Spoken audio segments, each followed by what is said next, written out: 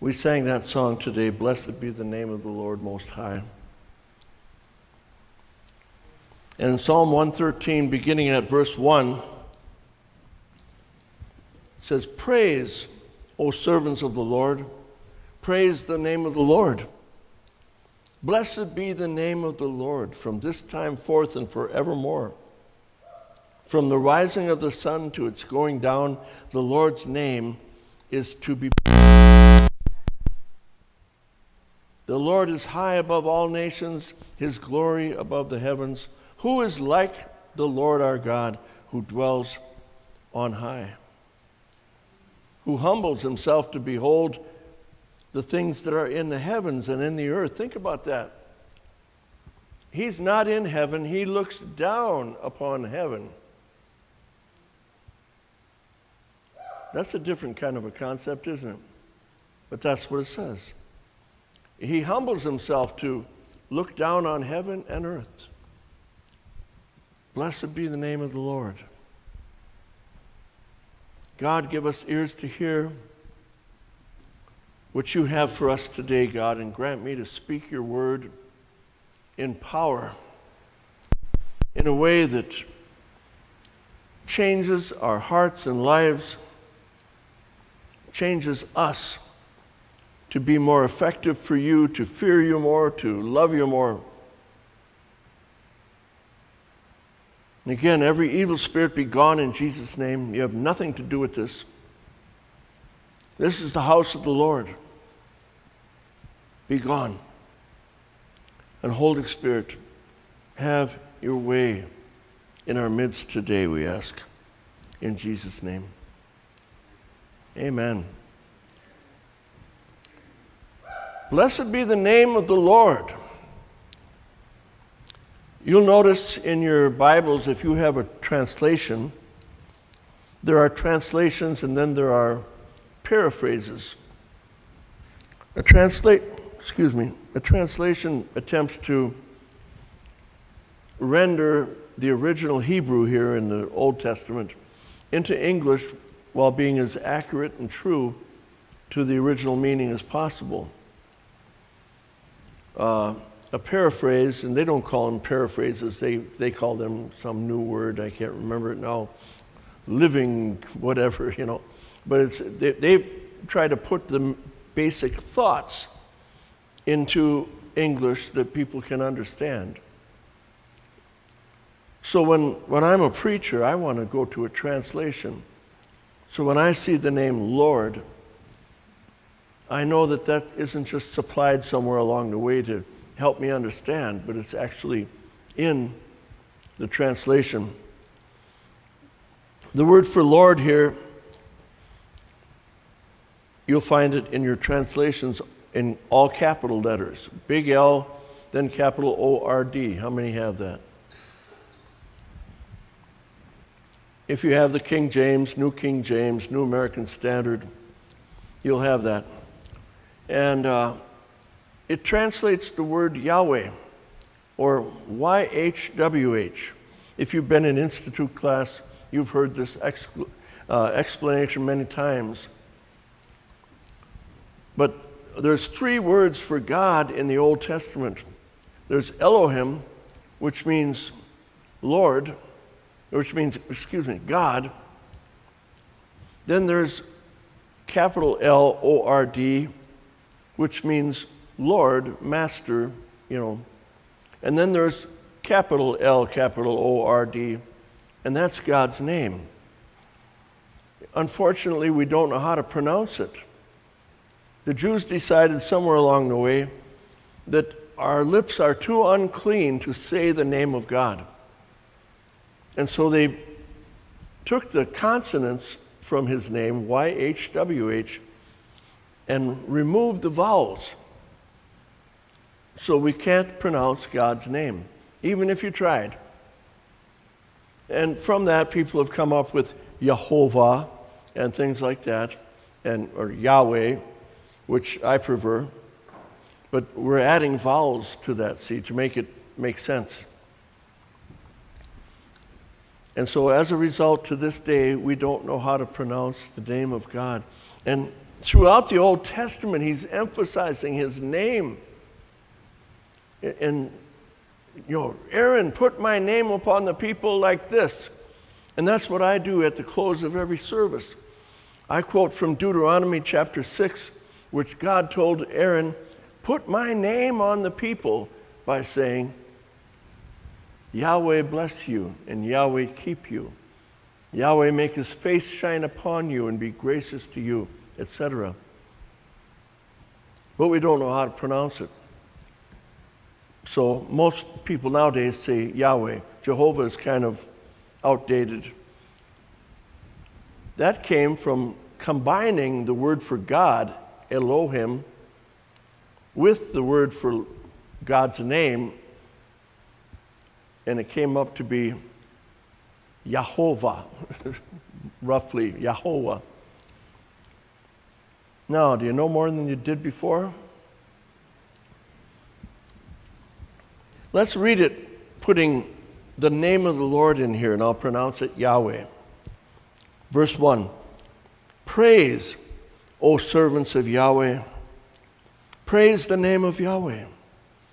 Blessed be the name of Yahweh from this time forth and forevermore, from the rising of the sun to its going down. Yahweh's name is to be praised. Yahweh is high above all the nations, his glory above the heavens. Who is like Yahweh, our God, who dwells on high? Names are very important in biblical culture. In the New Testament, we have the name of Jesus. And it says that his name is higher than any other name that is named. People would use the name of their God to bless and curse other people. They would call upon an Egyptian goddess of death, Hecate, and say, Hecate, curse that guy. They would call upon the names of their gods. And they had a concept that some of the gods were more important than others, more powerful. And so you tried to serve a God that was more powerful than what your neighbors had. So when you cursed them, they couldn't curse you back and win the contest. Silly to us who don't believe in that, but it's amazing how true it is that the um, cursing and blessing are real things. That's why we don't want to curse somebody in the name of the Lord. Even if we use it just, as Becky was saying, as a swear word. If we're saying, God damn you, and things like that, that's a serious curse. You're wishing for God to condemn somebody to hell when you say that.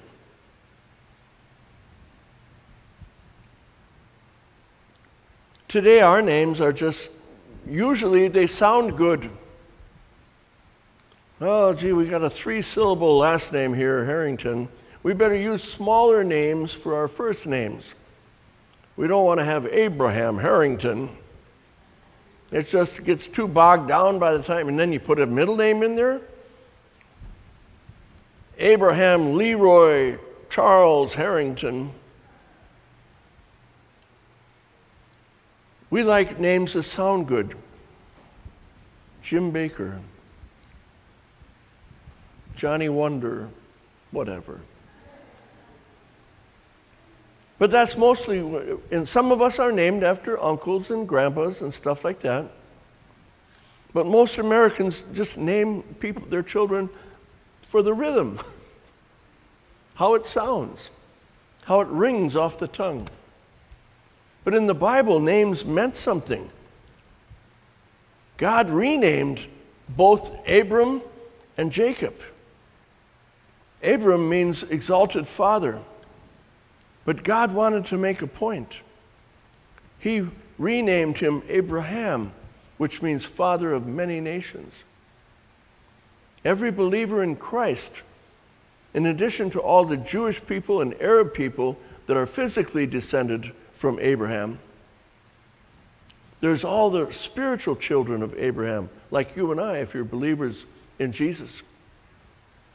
So he's a father of many nations. And God renamed him to make his name appropriate with that. Jacob meant a usurper.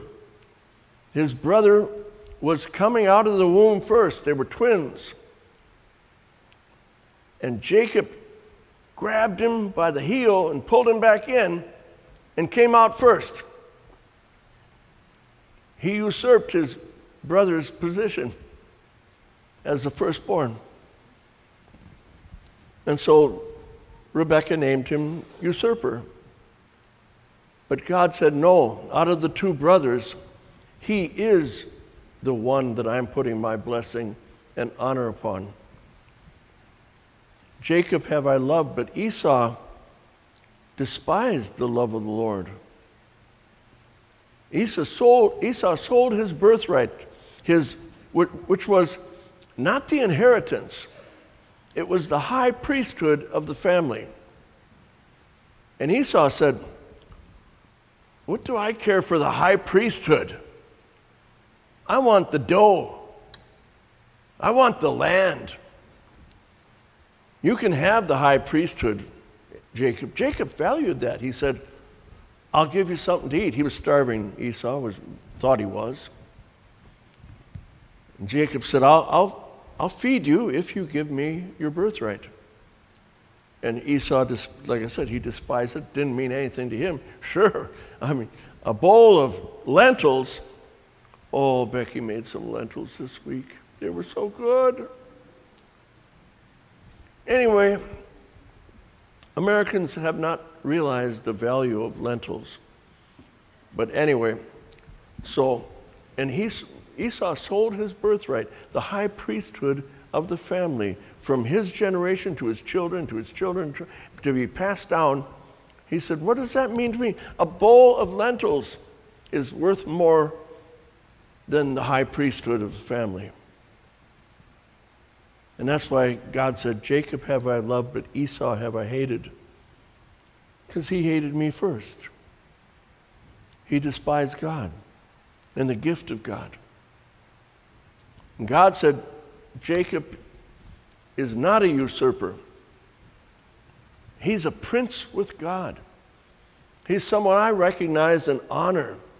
And he named him Prince with God, which is Israel and he became the father of all the Israelites. So names are really important. When we say, Blessed be the name of the Lord, we mean his name is worthy of honor and worship. Blessed be Yahweh, the one true God, the God who is. Turn with me to Exodus, if you would, chapter 3. Let me hear those pages rustling. We should quit doing this so everybody has to read their Bibles once in a while. Come on. Exodus chapter 3. I'm going to I'm going to read the first six verses just to get the, the feel of the whole story here. Now Moses was tending the flock of Jethro, his father in law, the priest of Midian. And he led the flock to the back of the desert and came to Horeb, the mountain of God. Up until this time, it wasn't known as the mountain of God, but it became known as the mountain of God because of what happened when Moses went there on this day. And the angel of the Lord appeared to him in a flame of fire from the midst of the bush. And he looked, and behold, the bush was burning with fire, but the bush was not consumed. And he said, I will now turn aside and see this, this great sight, why the bush does not burn. So when the Lord saw that he turned aside to look, God called to him from the midst of the bush and said, Moses, Moses. And he said, Here I am. Then God said, Do not draw near this place. Take your sandals off your feet, for the place where you stand is holy ground. Moreover, he said, I am the God of your father, the God of Abraham, the God of Isaac, the God of Jacob. And Moses hid his face, for he was afraid to look upon God. And the Lord went on to say, I've seen the oppression of my people under the Egyptians, and I'm sending you to deliver them. This phenomena that he saw of the burning bush was elsewhere uh, called the glory of God. The Jews had a name for it, the Shekinah, which means God's manifest presence. And it, at nighttime, it looked like a pillar of fire. In the daytime, it looked like a pillar of cloud. Ezekiel described it uh, dozens, if not hundreds of times, the cloud is mentioned in the Bible. Even places where the translators get it wrong, like in Revelation chapter 1, it says, He cometh with clouds. But actually, in the Greek, it says, He comes in the cloud, the cloud of glory. When Jesus was resurrected, He didn't get or uh, ascended to heaven, He didn't just ascend into clouds, He ascended into the cloud, the glory of God. The cloud that burned with fire and smoke the cloud that says, God is here. He led the Israelites for 40 years in the wilderness by that cloud. And when he appeared to people like to Ezekiel and, and others, and Moses right here, he appeared in that cloud. It calls him the angel of the Lord. The difference between this angel of the Lord and all of the other angels in the Bible is this angel of the Lord receives worship. The others say, No, no, I'm just a created being like you. Don't worship me. But the angel of the Lord, the word angel means messenger. And in the Old Testament, especially when the angel of the Lord appears with the cloud of God's presence, it's Jesus before he became human It's the Son of God, pre incarnate, before he became flesh. And that's why he receives praise, because he is God. Angels can't receive praise. Lucifer wanted praise. And so he talked a third of the angels into rebelling against God. That didn't last for more than a few seconds, I don't imagine. Because God threw them all out of heaven. But when the angel of the Lord receives praise, then that's the pre incarnate Christ. Christ before he was Jesus of Nazareth. Then Moses says in verse 13 Moses said to God, Indeed, when I come to the children of Israel and say to them, The God of your fathers has sent me to you, and they say to me, What is his name? What shall I say to them? And God said to Moses, I am who I am. I am who I am. I was hoping that would be powerful. Oh well. I am. Forget it.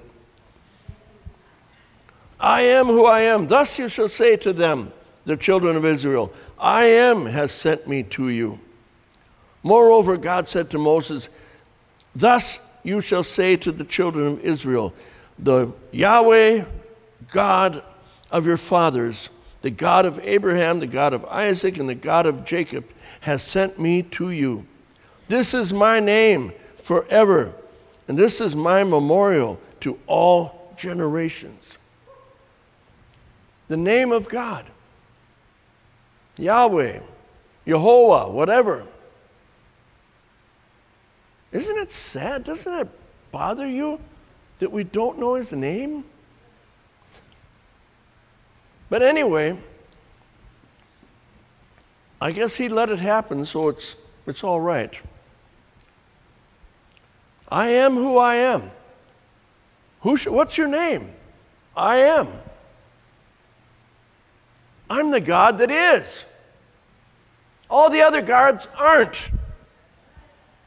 All the other gods of men and, and nations are inventions of actually probably fallen angels, demons.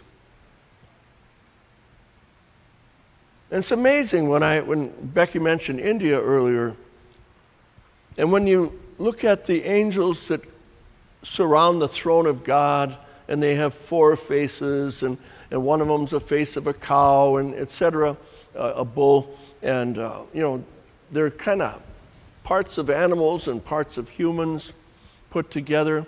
And when you look at the gods of India, you got Ganesh, who's half elephant and half human. You got Hanuman, who's half monkey and half human. It's really kind of similar to Ezekiel's vision of the, the cherubim that protect the glory of God. A little bit confusing to humans, but makes perfect sense to God. And these ones, though, Hanuman and Ganesh and the rest of them, there's over 100,000 gods in India. Amazing. How do you keep track of all them? Well, you don't, you choose one. But, and they fit the description of some of those that we see in the Bible that are half animal and half human. These ones are the ones that followed Satan. When Satan said, I want to be on high, I don't want to worship God, I want to be worshiped myself. And he was beautiful. The Bible said he was the most lovely of all of God's creation. But then God created man and woman, and he created them in his own image. And that's when Satan just, or Lucifer, just decided, enough! I'm not in the image of God. Why did he make these faulty little frail characters in his image? And I've heard some very uh, persuasive arguments that Satan fell after the creation of Adam and Eve because he was jealous that he wasn't created in the image of God like they were. Especially in the, in the sense uh, of the Hebrew uh, tense of the verbs and such.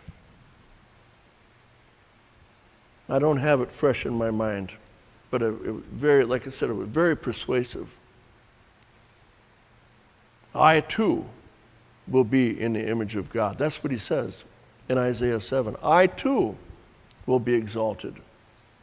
I too, you know. Because God had already exalted man to that point. Do you realize how awesome you are in the sight of God? He has exalted you to be in His own image. And I don't know exactly what that means completely.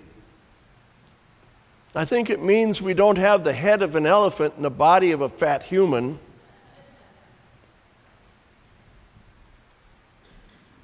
It means that we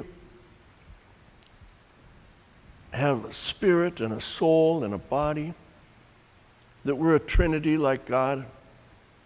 I don't know how much further to take that, but we're created in the image of God. And that's such an awesome honor.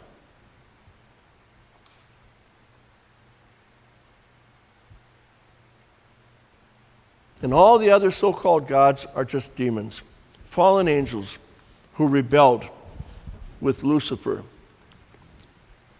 Lucifer is son of the morning, the bright and morning star. That's also applied to Jesus because he's the true one. But uh, when he rebelled, he was no longer Lucifer. he was the enemy. Satan means the adversary, the enemy. Turn with me to John chapter 8.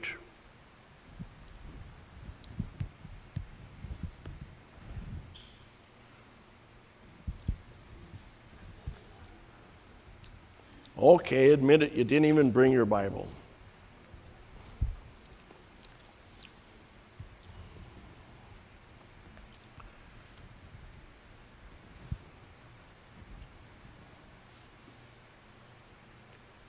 John 8. I'm going to begin reading at verse 48 and read to the end of the chapter. Again, it's a little bit longer than I usually, usually like to read from the scripture. I was taught in Bible school that you don't want to page your people all over the Bible, you, you lose their attention, but rather pick the right verses and say them. But sometimes you just got to get the context. John 8 48.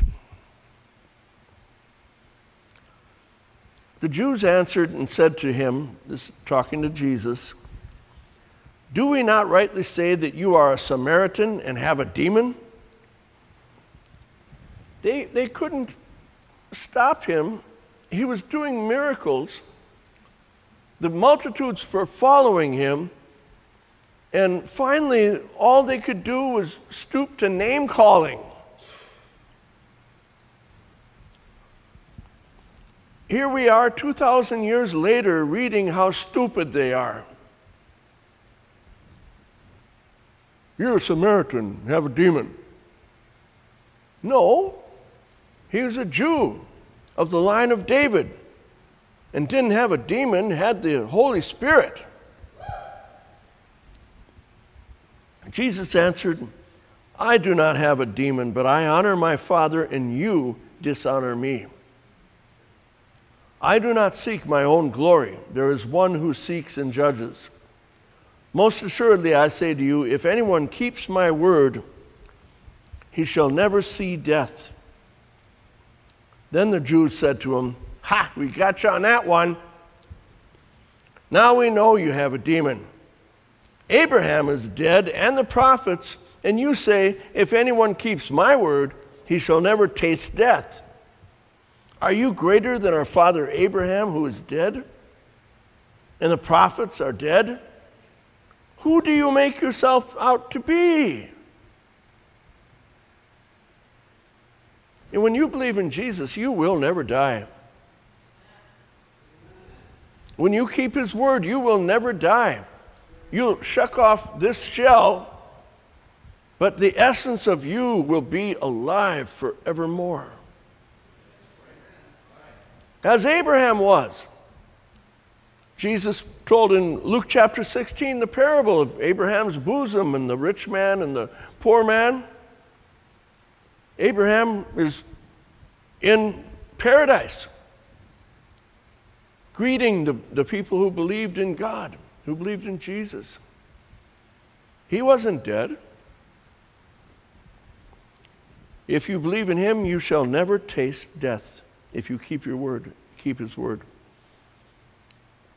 Jesus, verse 54 If I honor myself, my honor is nothing. It is my Father who honors me, of whom you say that he is your God. Yet you have not known him, but I know him. And if I say I do not know him, I shall be a liar like you. Jesus didn't pull any punches with these jerks. Then the Jews said to him, No, wait, hold on. Verse 56 Your father Abraham rejoiced to see my day, and he saw it and was glad. Then the Jews said to him, You are not yet 50 years old, and you have seen Abraham? Jesus said to them, Most assuredly, I say to you, before Abraham was, I am. And they took up stones to stone him, but Jesus hid himself and went out of the temple, going through the midst of them. Isn't it cool how he could do that? Just all of a sudden, walk out. And nobody saw him going out.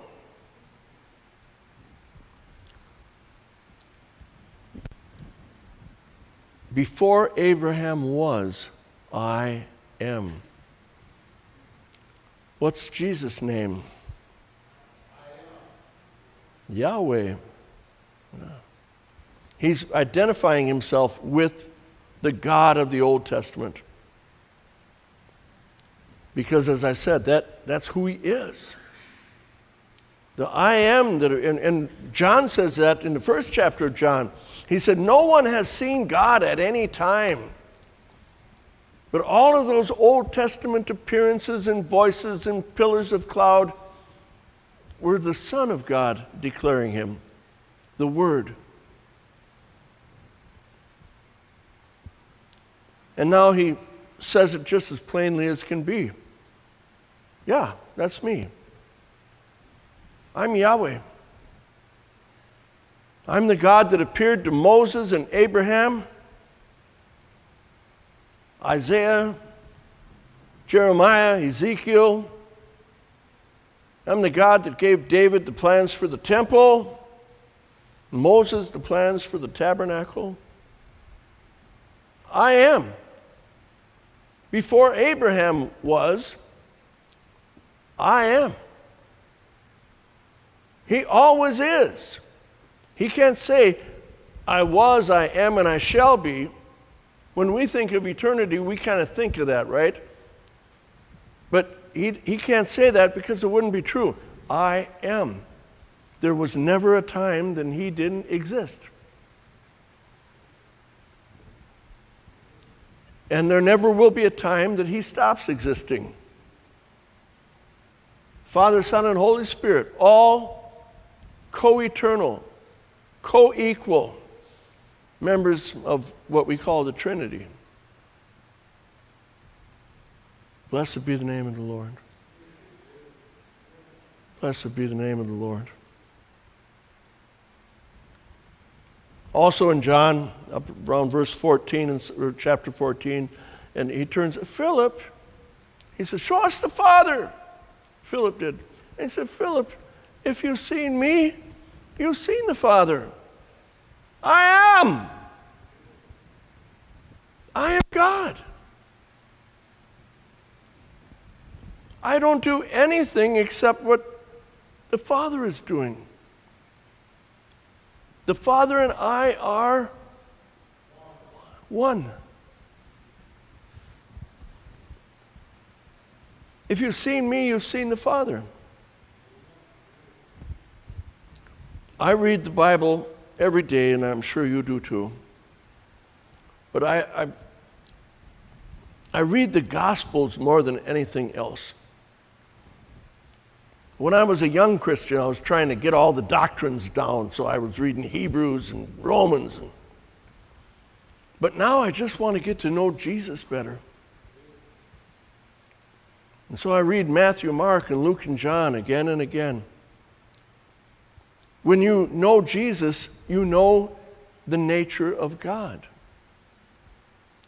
You know how he feels about this and that and the other thing when you see him reacting with people in the pages of the scripture. Here's a woman caught in adultery, the very act. Moses said, Stone her, what do you say? He who is without sin, let him throw the first stone. And then he said to her, Go away and sin no more. What, just the revelation of who he is and how he feels and how he deals with people. That isn't a license to sin, because the first thing he said to her was, Don't do it again.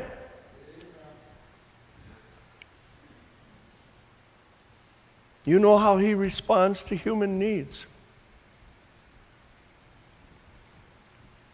When the Phoenician lady interceded for her child who had a demon, Jesus' first reply was, I'm not sent to the Phoenicians. The apostles he sent to the whole world. But he was particularly sent to Israel, to the Jew first, and then to the Gentile. They had been faithful to God all these hundreds of years, and they went up and down, of course, in their faithfulness. But uh, they deserved to be the first to hear. But nevertheless, he delivered her child that very instant. We know how he responds to human needs. We know how he loves. We know how strong he can be, too. He didn't have much time for what John calls the Jews and other gospel writers call the Pharisees and the Sadducees because they were hypocrites. They pretended to be spiritual and they weren't. They attended the synagogue and knew all the prayers, memorized all the right scriptures, but they didn't live it. And he had no patience with them at all.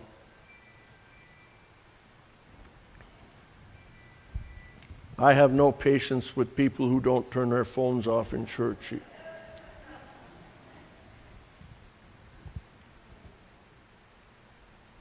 Mine's probably on too. Nobody ever calls me.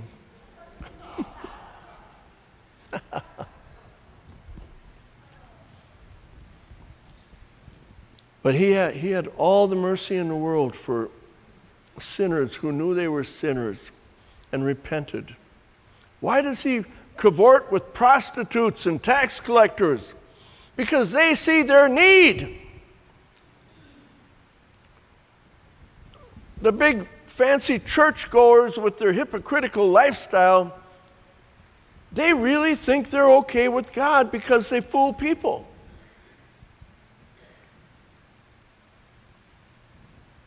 I never understood that. That was something that got drilled into me even as a child.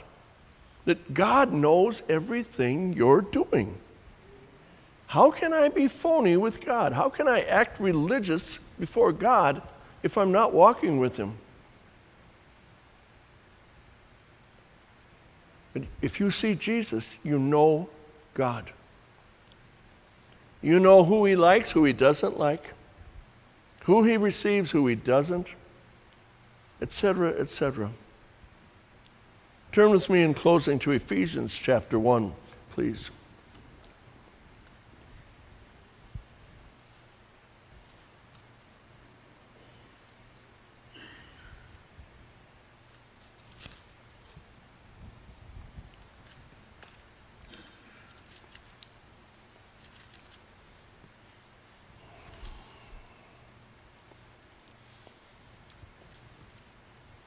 I got so many notes in my Bible that Ephesians is about 30 pages long.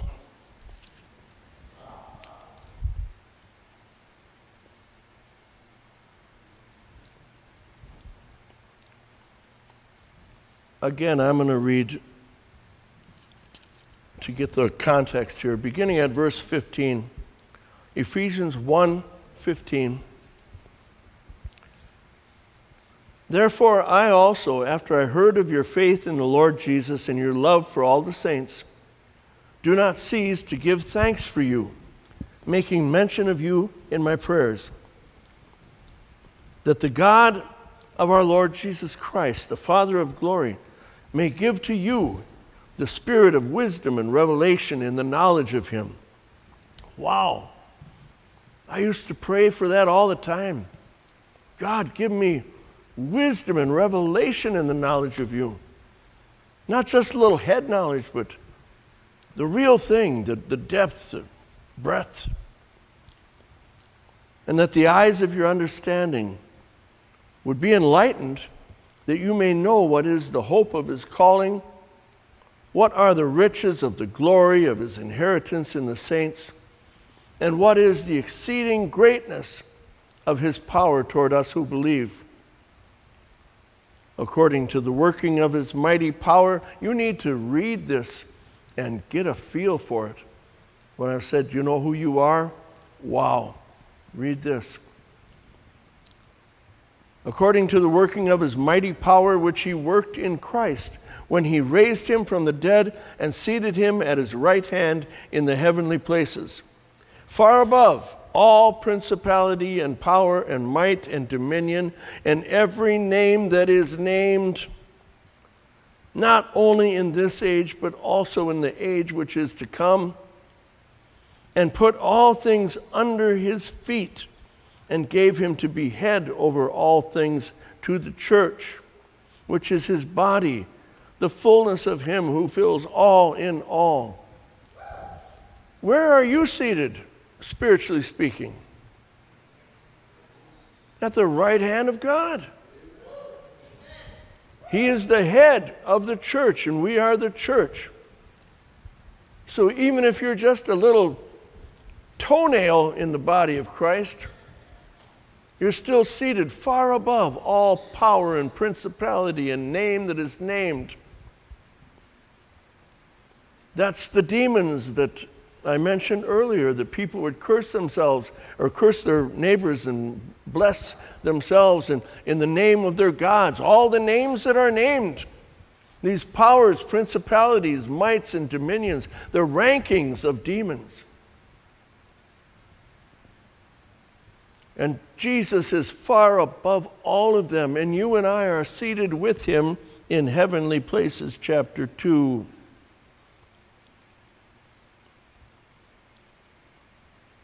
Verse 5 Even when we were dead in trespasses, he made us alive together with Christ. By grace you have been saved, and raised us up together and made us sit together in the heavenly places in Christ Jesus. We have more authority than all those false gods. We don't need to call upon the name of some lesser God. We can use the name of the God of gods, the I am, Jesus.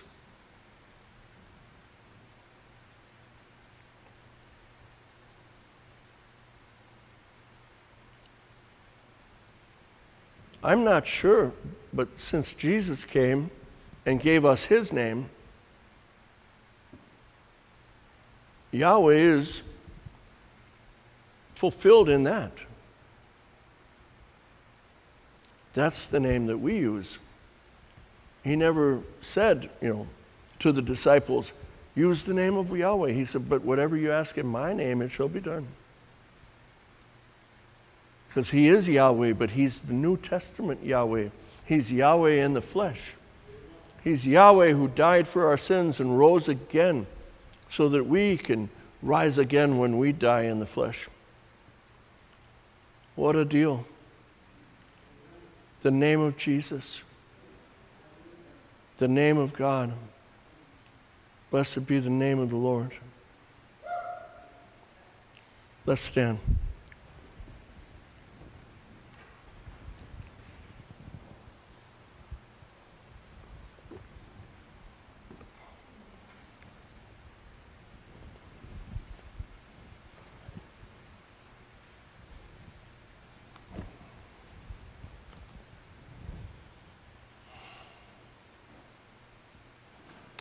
Thank you, Lord. What can we say, Lord, except thank you and fall before you and worship and honor you and keep your word? That's what Jesus had against the Pharisees. They didn't believe in him and they, they didn't keep his word. We want to be those who honor you, our Father, honor the Son and the Holy Spirit, and keep your word. Grant it, our God. In Jesus' name.